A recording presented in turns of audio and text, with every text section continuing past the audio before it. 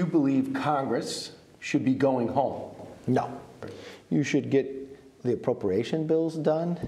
We've got work to do. We should get us for energy independence. So in the next year, the price of gas is lower. We should get the border so you feel safe. We should do Parents' Bill of Rights that's sitting again over in the Senate so you have a say in your kids' education.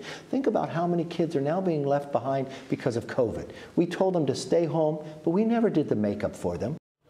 So there, Congressman Kevin McCarthy, uh, final interview before he leaves Congress. Uh, he did it on One Nation. You can see that tomorrow night at 9 o'clock. He says Congress needs to postpone its holiday vacation and stay at work.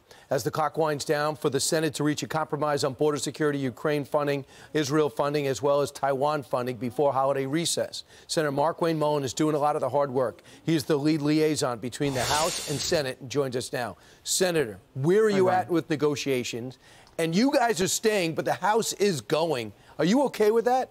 Well, there's not a whole lot the House can get done until uh, until the Senate finishes the work on the supplemental package and the border.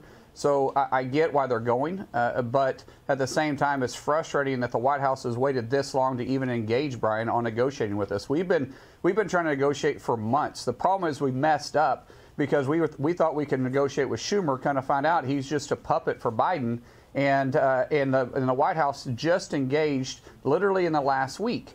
It's almost impossible to actually get true border um, security and border re, uh, reforms done. Remind, remember, Brian, they haven't done any type of, of immigration reform since 1985. That was Mitch McConnell's first year in office, and it was and Reagan was still president it's it's a very complicated yes. piece, and we're going we're going to try to do it in a week. It's just we can't get it wrong. We got to make sure we do it right, and that's going to take some time. And you do have leverage. Uh, I you know yes. I think the aid is necessary. You think it's necessary, but you said not unless you fix the border. The country wants the border fixed. Can you give us three things to look for at home to see if this is really legislation that we feel so good about that you guys want? Yeah, one, we have to do something about asylum. Uh, the asylum process has to change. It needs to go back to remain in the first country entry, which we have a pact with Canada and Mexico. Uh, United States is the only one that doesn't doesn't enforce that, meaning that the first country you enter, you have to claim asylum. Sure.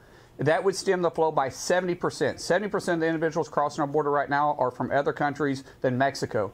Uh, second of all, we got to have true enforcement uh, with the border. So if we ca- apprehend someone, we need to be able to send them back and process them right then. What they do right now send them back, not send them in, right? Send them, yeah, like, get a plane ready and fly yes. them back. Yes, right now they get a piece of paper that they're legally inside the United States for four to eight years while they're waiting a court case.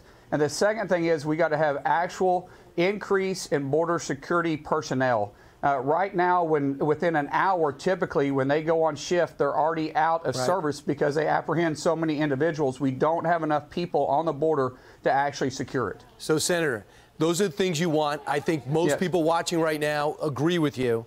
So, what do you think you're going to get? And when Murphy looks across the, the, the table to you, does the Democratic senator also agree with you? Does the White House look as though they're going to sign off on that? Well, it, they're going back and forth trying to play shell games with it. For instance, they're trying to come back to us and say, uh, how about we stem the flow by a set number of 100 people or 200 people? That's a drop in the bucket, literally a drop in the bucket. When you think about we're having over 10,000 individuals a day claim asylum. Back when Obama was in office, they considered it a, a national crisis and they were only having 21,000 a year. We're doing that every other day right now. And so one or 200 doesn't count it. Uh, doesn't count. When they start talking about personnel, we want them to secure the border. What they're wanting to do is have more people to process individuals to get them out of the, the, the holding centers and into the United States.